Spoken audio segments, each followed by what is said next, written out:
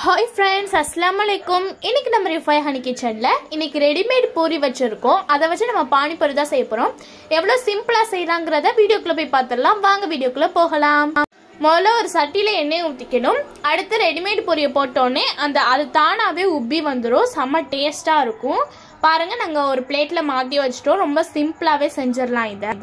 இதுக்கு காம்பினேஷனாக நாங்கள் வந்து ரசம் செஞ்சுருக்கோம்.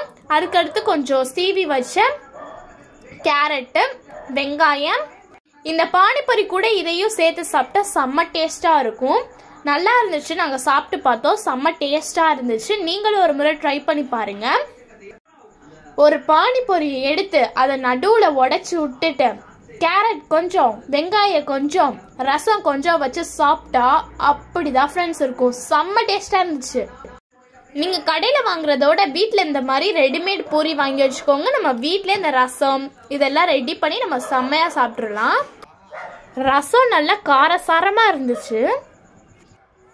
நீங்களே பாருங்க ஃப்ரெண்ட்ஸ் எவ்வளோ கலர்ஃபுல்லாக செம்மையாக இருக்குன்னு. இந்த வீடியோ உங்களுக்கு ரொம்ப பிடிச்சிருந்தா லைக் ஷேர் கமெண்ட் பண்ணுங்க. பாய் ஃப்ரெண்ட்ஸ் அஸ்லாம் வலைக்கும்